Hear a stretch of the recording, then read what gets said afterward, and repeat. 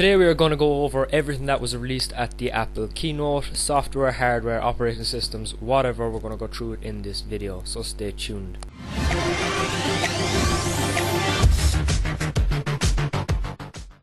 Welcome back to ZeTutorials and first off I want to give my sincerest apologies to everyone who is listening to this crappy crappy rundown audio.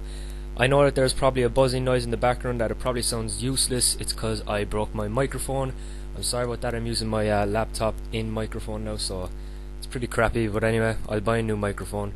Enough said about that, let's move on to the software that they released. So first off, Steve Jobs came up and he said iLife, iMovie and GarageBand 11. So we start with iLife, that is available for a bit available today, sorry. And it comes pre-installed on all Mac computers that you buy from now on, which is very very good. In fairness now that is pretty it's very very good piece of software so that is pretty good of them to do that. Or you can upgrade today for $49 which is okay as well it's not too bad. Then they had a fella up doing iMovie 11 I, I forget who they had up but he just basically showed them the new audio editing and the enhanced features that iMovie does and how you can make cool trailers. It looks pretty cool actually I might try that out and then they've GarageBand 11 which basically just helps you learn your instruments and gives you analysis as you play. So if you play something wrong it'll show you the parts where you have wrong. So that's pretty cool there in-depth analysis. Then Steve Jobs went up on stage and he said oh well FaceTime is coming out for Mac today. Yay. We all knew this was going to happen. It was inevitable. Obviously they're going to want to bring FaceTime to Mac. There's no need to go over that. Everyone knows what FaceTime is. And there's plenty of demos out there. I'm not going to go through that myself then they went on to the good stuff, which was the operating system Lion 10.7. Uh, Mac OS 10 is what they're calling it, 10 Lion.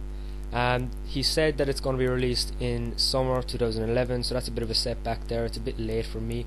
I was hoping to be a bit earlier, but it's not, so we just have to get on with it. They showed some cool new features like mission control, which basically shows you how to how you can uh, put all your windows together and just organize everything really really cool. And they also announced that apps will be coming for the operating system. And with apps come the Mac App Store. I just noticed there I'm missing a P on that app. God damn it. Alright we'll move on. So Steve Jobs then go went ahead and said oh by the way there is one more thing. Now what could this one more thing be? The MacBook Air obviously. I said this in my prediction video. The MacBook Air. We were, we knew this was coming. There was no cheer or nothing like that I was watching it live. I hope you guys were too. It was pretty good. So they said that there's going to be two brothers here. There's going to be a little brother with 11.6 inch screen, and there's going to be a big brother with a 13.3 inch screen. Um, it is notable that both screens have very high resolution indeed, and the 13.3 is actually more resolution than the MacBook Pro series, so that's very very cool indeed. Down there at the bottom is just some features that they showed with it. So it's got a Core 2 Duo processor, it's got an NVIDIA GeForce 320M graphics, so that should have no problem handling all those HD videos and all that kind of stuff. The good thing is, well, good in my opinion, is that it has no hard drive or no optical drive. Now I know you're losing hard drive space by putting in flash memory, but you are gaining a lot of speed, and speed is very important when it doesn't have the new i-series processors. It does still only have the Core 2 Duo processor. So by using the flash memory, they're compensating for this Core 2 Duo processor. That's the way I look at it anyway. Because flash memory is about two times faster than normal hard drive.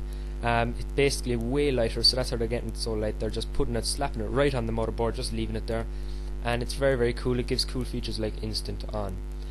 So what's the pricing? Well, the flash memory starts at 64 gig, and that is for the 11.6 inch.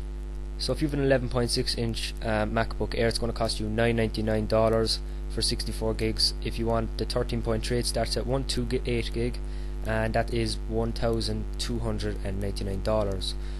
But that's all I got for you guys today. I hope you enjoyed it. Again, I'm very sorry about the crappy audio. If you are new to this, I'm sorry for putting you through this torture. I know it's terrible, but I'll get a new mic. Don't worry about it. If you want to go ahead and subscribe, I would appreciate it, especially if you are a new viewer.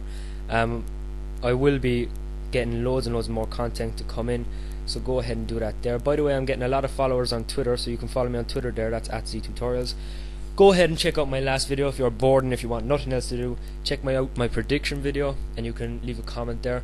Also I do want I do want to bring up my comments on every video. Um, not enough people are interacting in my opinion. I like people leaving comments and what most people don't know is that I respond to most comments. So if you leave a comment I will make sure to respond to you on your channel page. So it won't come up in the video but it will come up on your channel page and we can interact that way. So that's pretty cool. You can check out my next video too if it's that if that's there if you're watching this at a later date. I doubt most people won't be, but whatever. Let's move on. now. that is ZeTutorials signing out. Thanks for watching, guys.